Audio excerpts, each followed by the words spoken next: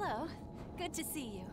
Alrighty there, Revenants. Welcome back to Code Vein and the Road to 100, where today uh, is the video I think everybody's been waiting for the most um, here in uh, the Road to 100 Halberd run. And uh, for this set, we're going to be running the Sunset Halberd. Uh, we're going to be running the Intensified. Uh, the Gifted is a very, very close second to what we're running, but the uh, intensified uh, takes the cake here, especially for um, the weight class because the fortified uh, just is too heavy for what we're running, and so we're gonna be uh, we're gonna be running just the intensified. Uh, sorry about the the ding there. Let me uh, take care of that real quick. Okay, and so what we're gonna run here is we're gonna run a setup that actually gets the Sunset Halberd to uh, basically double this number here. So we get to 3044 when we are fully buffed and ready to go. Uh, so we should be able to destroy anyone and anything in our path uh, that we hit. Now we do have a problem here of Louis uh, coming along with us, so that will be for whatever it is. Um, but uh, think about this, we have uh, 3044 as our um, damage value, and just as a raw number off of Chariot Rush, uh, the, the full multiplier on Chariot Rush is 4.8. So uh, if you multiply the uh, 3044 times 4.8, you get 14,611 damage from one uh, gift, and that only costs 4 Ichor. So for something like Heimdall, you need uh, high power, low costing Ichor uh, gifts, and so this is exactly what we can run here to make sure that uh, it will take us a little bit here, but we will actually get up to really, really high damage overall. And uh, our charge attack is one of those attacks that uh, is very, very strong. It has a 235% multiplier on the uh, on the uh, charge attack, so uh, you definitely want to make use of that. So now we're up to 2244, so another 800 to go from Sacrificial Edge. And if we can get 10 Ichor um, in between here, we will be able to get Sacrificial Edge going. Now that is the uh, problem here with this uh, bet, oh, is that we have um, is that we have the uh, problem area there of uh, getting hit, uh, and if we ever get hit, we're uh, in real, real, real trouble. So that is really, really bad. Okay, and the, and we definitely want to get backstabs to avoid that double slash there. Okay, that's good. And let's go for a charge attack. Okay, it was almost 8,000 on a charge attack there. That's really good. But uh, it's just not enough to take this lady down uh, faster. So we'll go for a couple of items here to get us uh, charged up and ready for this uh, encounter up here. Okay, and uh, we need to put this lady down very fast. Okay, while at the same time avoiding all the uh, gunners and such. Okay. Okay, good. Ouch. And see, oh, as you see there, we get hit a little bit and we're and we're toast. Okay, but uh, our our weapon damage is really good overall, and we're able to uh, really put out a whole lot of damage uh, whenever we need to. Okay, oops. But again, if we get hit, I'm stuck on the thing here. Okay. Oh. okay.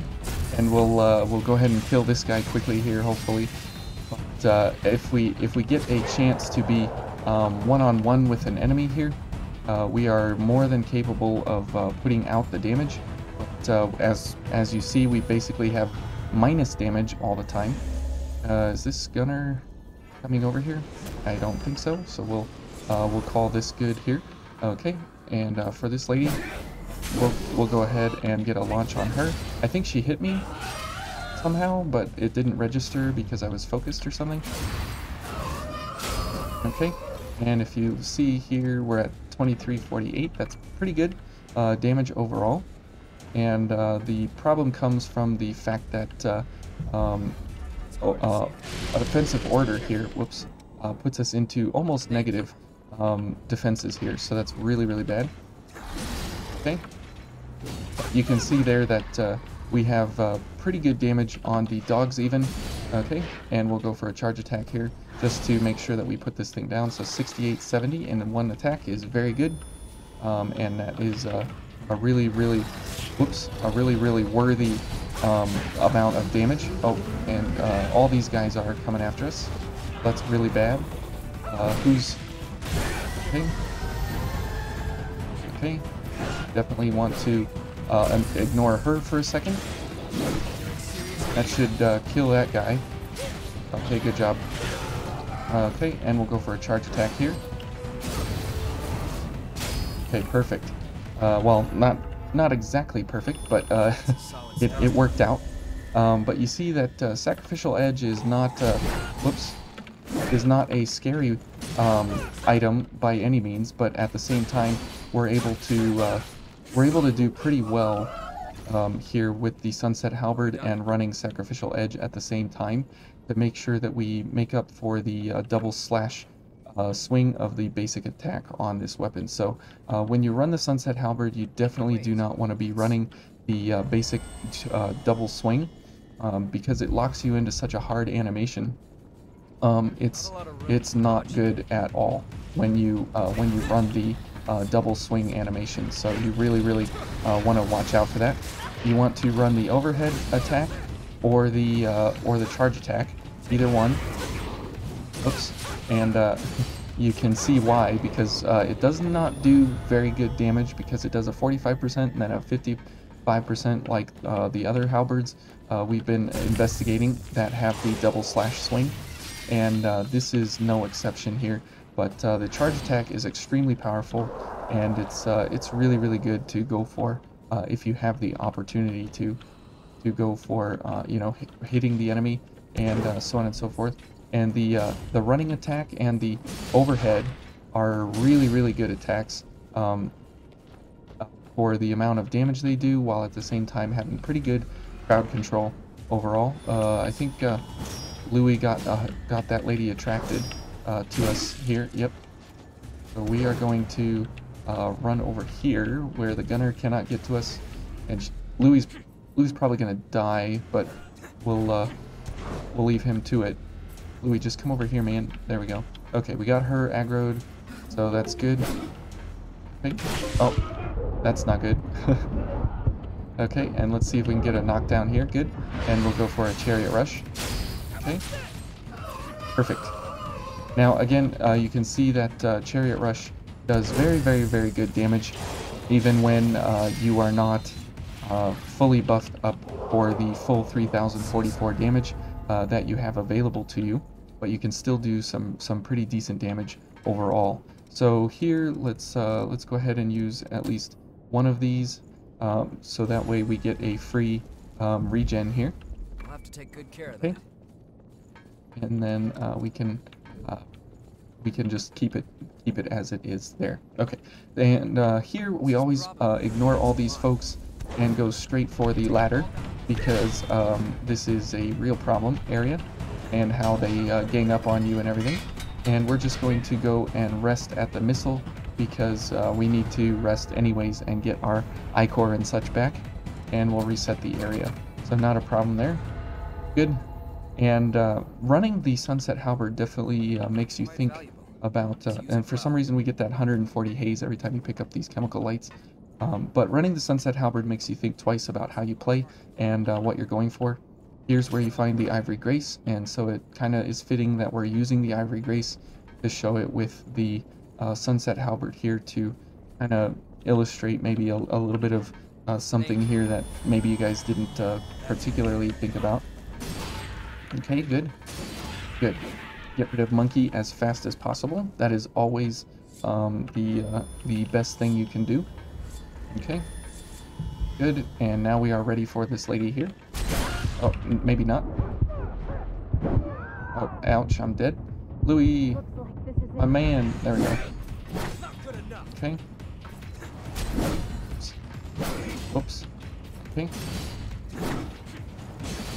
I thought that uh, was gonna knock her down, but uh, apparently, uh, it, apparently it was not enough to knock her down. So uh, I needed to hit her with something else. So um, that is kind of uh, that is kind of unfortunate there. Um, but the uh, Sunset Halberd, you pick this thing up all over the place.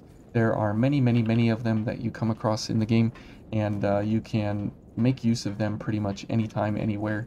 Uh, but uh, but that double slash on the first um, strike pattern of the weapon actually in- inhibits the usefulness of this weapon uh, considerably, just because of the fact that uh, you know you're, you're locked into that animation and there's no way around it and there's no way uh, to to get out of it. There's no way to cancel it or anything. So it's it's pretty bad uh, in that regard.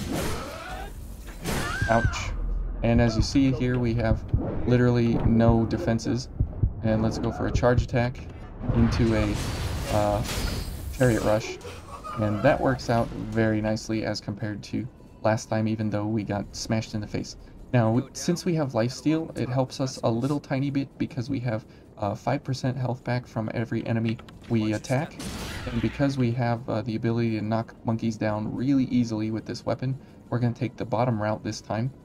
And uh, hopefully we don't uh, get our, our uh, faces destroyed here. Okay. Oh, and uh, like just like that. Okay. Okay. And uh, that is a nice thing about having lifesteal is that if you kill an enemy and die, you are able to um, you're able to uh, come back to life because of the fact that uh, um, the life uh, regenerated uh, gave you that life back, and it can bring you back from um, actually uh, dying. So it's kind of nice. And as you see, we're we're loading up on health here from the monkeys. And so we'll go over this side uh, to make sure that we get rid of these monkeys quickly. Okay. Okay, good. Oh no. Oh, monkey. So you can see there that uh, we're we're able to um, do some pretty decent damage. Oh, oh boy, we're probably gonna die here. I can't see. Okay. Okay. Never mind. I guess we're fine. Very good. Okay. Um, and then we have more monkeys here. Oh, I forgot about these monkeys. Oh, come on. I hate monkeys. uh, there's so many of them. And uh, since we have basically zero defense, um, we're we're able to uh, uh, get taken down pretty simply, pretty easily. And there's no real alternative to this because the blood veil is so light at 13.2 pounds. And so that is the only veil that we can use that actually um, follows our weight class to be able to wield this thing and still have quick mobility. So it, it is what it is, but uh, you know, it, it works out uh, fairly decently. Okay. Okay. And uh, now we've got uh, this lady up here. So uh, hopefully we don't uh, get smacked in the face. Maybe we can get a parry, maybe not. She's going to do that, so we can go for a backstab first. And that'll set us up nicely for a charge attack here. Good. Okay. Ouch. okay. Uh, that definitely was uh, very, very bad for us. Um, so we'll go ahead and get uh, a couple of things going here to make sure that we have uh, some good Ichor uh, gifts on us before we get into the monkeys down below. And uh, for for here, we want to equip the knives or the daggers for the uh, Blood Knight at the end of the hallway here. Okay, get rid of one monkey. The Two monkeys. And, uh, oh, good job, Louis. Okay. And we'll get rid of this monkey. And get rid of this monkey. Good. And get rid of, oop, get rid of this, oh, okay. And get rid of this monkey. And there should be another one. Yep, there we go. Oh, of course. Get out of here. Okay. Oh, Louis got that kill. So not a problem there. Okay, and then for this lady, if you stand here on this side, she will kill herself every time. There she goes. So that's a very nice, easy kill there. Um, okay, and uh, then we'll switch back to make sure that we have um, enough enough setup here for the uh, what's his called uh, the Argent Wolf Boy around the corner. Okay, and as the monkeys drop down, we'll go for a charge booster here to make sure that we um, kill them. Whoops, there's one of them. Okay, and two. Very good. Okay, so we got another uh, 304, uh, 310 uh, HP there. And uh, that is really, really what we're uh, looking for here, is to make sure that we uh, have the ability to uh, put some AoE out on the enemy here, while at the same time having good damage uh, to make sure that we, um, you know, don't uh, don't die immediately every time we get into a scrape here with uh, some of these enemies. So let's, okay, good. And we'll go ahead and kill this fella almost. That's good. Looks like Louis is uh, taking care of this guy, maybe? Nope. Okay. Okay, and we'll go for a launch. Oh, I guess we just uh, killed him outright. Now this is nice that we're focused because there's this uh, Blood Knight here that we can maybe get a uh, launch attack on. Okay. Oh, and uh, we traded blows there, so uh, not a problem, I guess. But uh, hopefully this... Nope. I was going to say hopefully that goes for a knockdown, but nope. Okay. And we'll pick up the Pure Blood uh, in here for sure to make sure that we uh, don't miss out on this wonderful item. Okay, and then going for uh, the lady up here, we'll just go for our basic uh, damage setups here. Okay, and uh, if she goes for an attack, maybe we can get a parry, just like that. And that will set us up very nicely for a charge attack here. Okay. Okay. I can't tell where uh, she is or what's going on, so very good there. Um, definitely, uh, definitely uh, kind of scary along the edge there, um, quite a bit. But, uh, whew, we made it to the Mistle, and uh, that works out. We still have 10 heals, and we have a couple of items here and stuff, uh, so not too bad.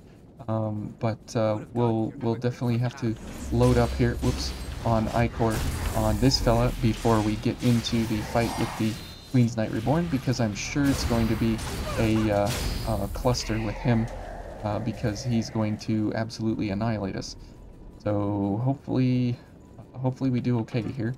Now, uh, since we're going to be going for this fella anyways, we'll just might as well get a 20% increase to our weapon damage and we'll go for um, blood sacrifice to make sure we are up at peak capacity here. Okay. And we'll go ahead and heal up along the way here uh, to make sure that we're uh, all the way full on all the goodness uh, that we could be going for. And uh, we're ready to go. Okay, here we go. And where's Chariot Rush? Good. Okay, and we'll go for all these things here to make sure that we have really good charge uh, damage on him as well. And uh, as soon as offensive order comes off, we'll go for ice. Okay. Perfect. Alright, let's go. Okay. Okay. Not bad there. Okay. Let's go for another charge. Okay.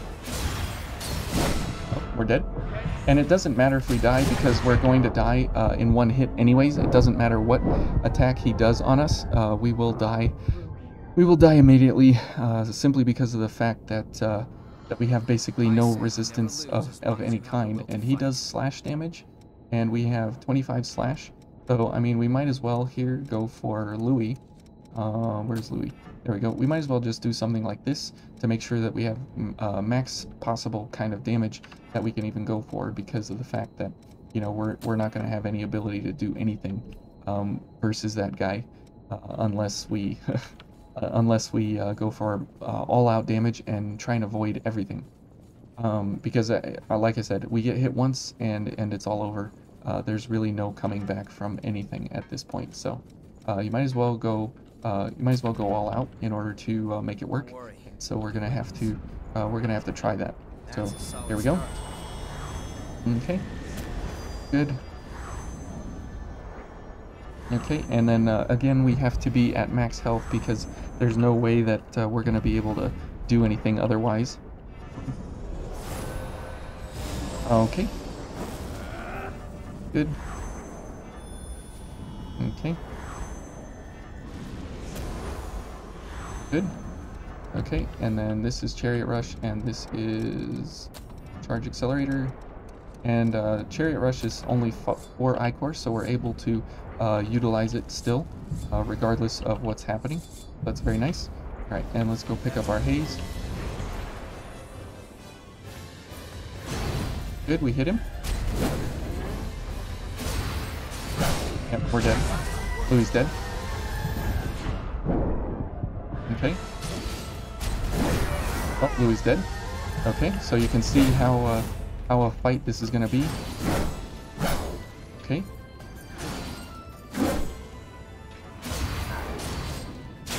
Great. Okay. I'll go for charge booster there, charge accelerator.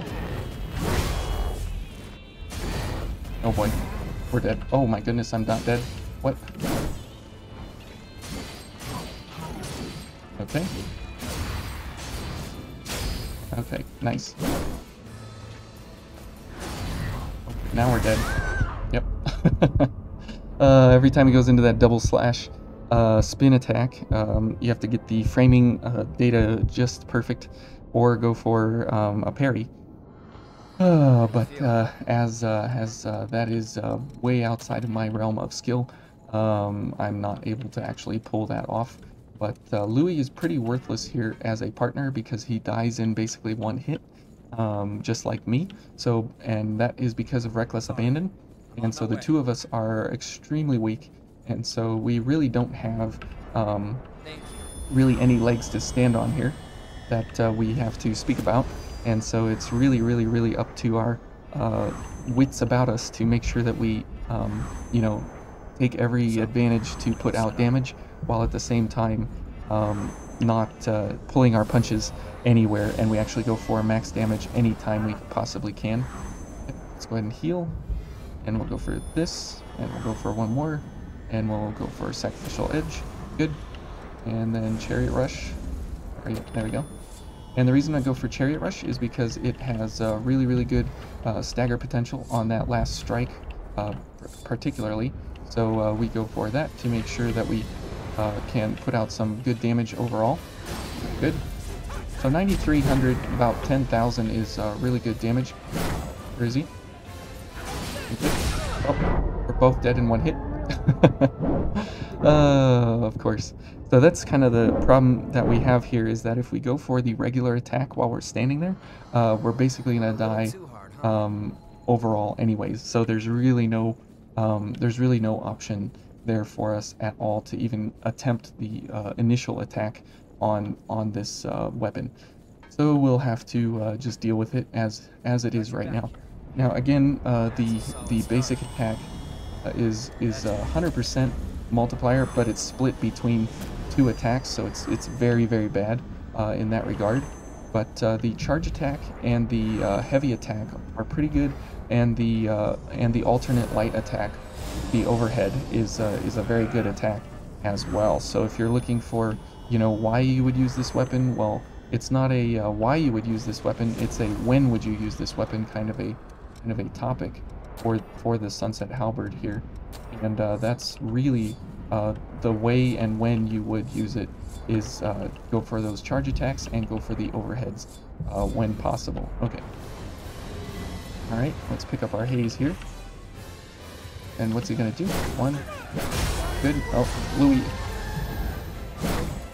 And you can see there that uh, Louis and I are both uh, not uh, good at holding on here. Okay. He's gonna do that so we can get a couple of charge attacks here. Okay, we'll go for a charge booster. Okay, and when he comes out, we'll go for a, uh, this. Yeah, we pulled him out of the air. That was cool. Okay. Okay. Nice, and a chariot rush. There we go. Okay, so that was a uh, that was a perfect run there because we didn't get hit, um, and that was very nice, and that's how it should go. Um, and uh, we did get lucky to pull him out of the air there with uh, the last hit on Chariot Rush. Uh, but uh, that's the whole point of that last hit is that uh, you do stagger and you can interrupt uh, all of his moves um, with with any kind of stagger that puts him into light stagger and if you put him into hard stagger like we did at the end where he went down and actually knelt down that's that's his hard stagger uh, you can end the fight very quickly um, as you see there but again it's a very high risk high reward type of a setup because you um, basically can't take a hit ever so yeah it's uh, do it perfectly or not at all so anyways hopefully you all enjoyed the sunset halberd and uh, how this thing actually operates. And, uh, you know, since we didn't get hit, we did have that 3044 uh, value on our, uh, on our Revenant. So that was very nice. Um, let's see here if we can actually get that number to show so you guys can see um, see how that how that operates uh, for us here. So let's head back to our Cerberus Trooper and see if we can get Louis to give us his overdrive. Okay. Good. Okay. And now we did have much higher than 3044 because we had um, uh, Reckless Abandon and so that was very nice as well. Uh, so let's see here if we can get uh, Louis active uh, and see exactly what our hell or what our um, what our damage potential was here.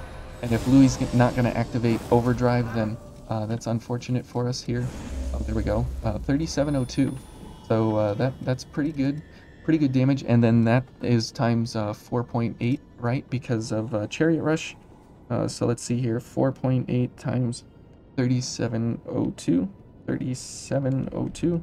So 17,770 uh, damage is what this thing is potentially capable of, of putting out here on on the Cerberus Trooper. Now, it won't put out exactly that amount because he's a little bit strong to slash, but uh, you can see there, uh, okay, 24,000, and uh, we killed him in one hit, so uh, it's it's really good damage overall, um, and uh, you can really, really put the enemy down uh, quickly with this thing, but, you know, it is the Sunset Halberd, and it, you know, doesn't get a whole lot of playtime as I'm sure you all can imagine. So anyways, I hope you guys enjoyed that. I hope you enjoyed the uh, uh, the the setup here and the show of how to uh, kind of run this thing. And Heimdall sure makes great use of this thing overall because of uh, Sacrificial Edge and uh, all the buffs that we got going here. Oh yeah, and I forgot uh, the 20% from Swift Destruction.